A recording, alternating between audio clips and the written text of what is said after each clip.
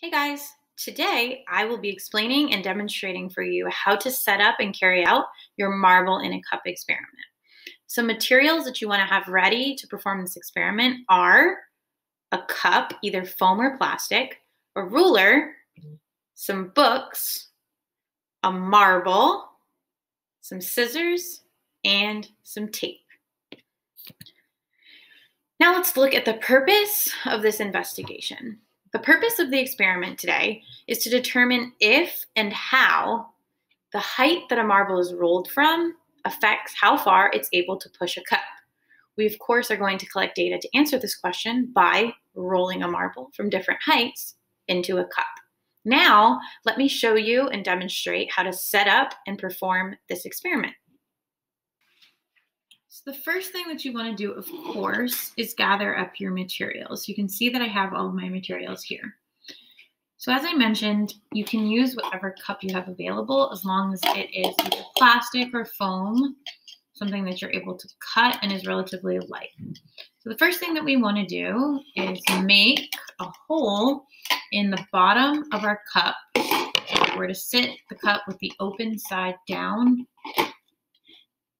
I want to make a hole on that side that's large enough for the marble or the ball that I have to roll into it. So let me show you what I mean. So I'm just going to go ahead and very carefully with a pair of scissors cut an opening in the bottom of my cup that is again large enough for my marble to roll through.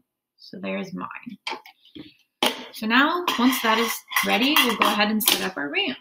So as I mentioned before, you want to make sure that you have some books. Of course, if there's science books like this one, it's even better. I mean, you're going to start with probably one book, which will be your lowest height.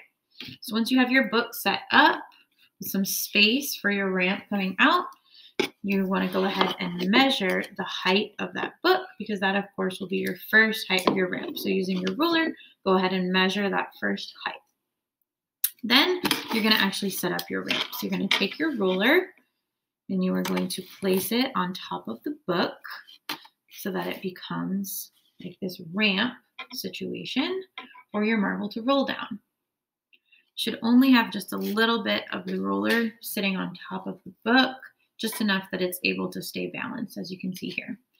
Then I've already done mine, but you're going to take a little bit of tape and you are going to mark the starting point for your cup at the very, very bottom of your ramp. So you can see that I've lined it up right with the bottom of my ruler.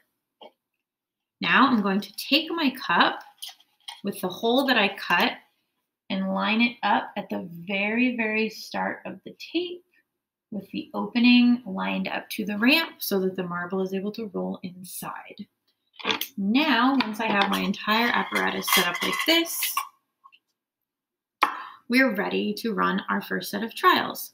So in this trial, which is my lowest height, I'm going to go ahead and take my marble and place it at the very top of the ramp. Now, I don't want to push it or throw it. I simply want to place it and allow the height of the ramp to do the work. So I am going to place my marble and allow it to roll down into my cup. Now that marble should push your cup back some distance.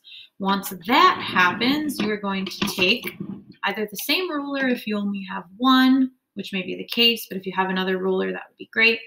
And go ahead and actually measure the distance from your starting point to, you shouldn't do that, should not touch your cup, to where the cup rolled.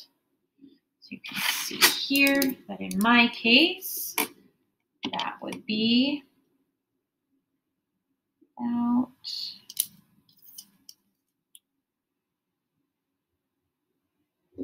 one centimeter. You are then going to repeat the process for two additional trials at this height.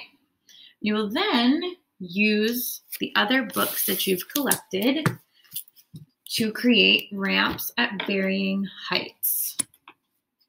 For instance, I will add this other book and I will be able to set up a ramp at a higher height. Don't forget to measure the height of your ramp before you run your trials. We'll then carry out the exact same process.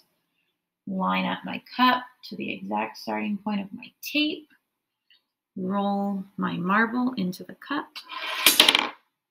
and measure the distance that the cup is pushed by the marble at each height. Don't forget to run three trials at each height and to calculate your average distance pushed for each height.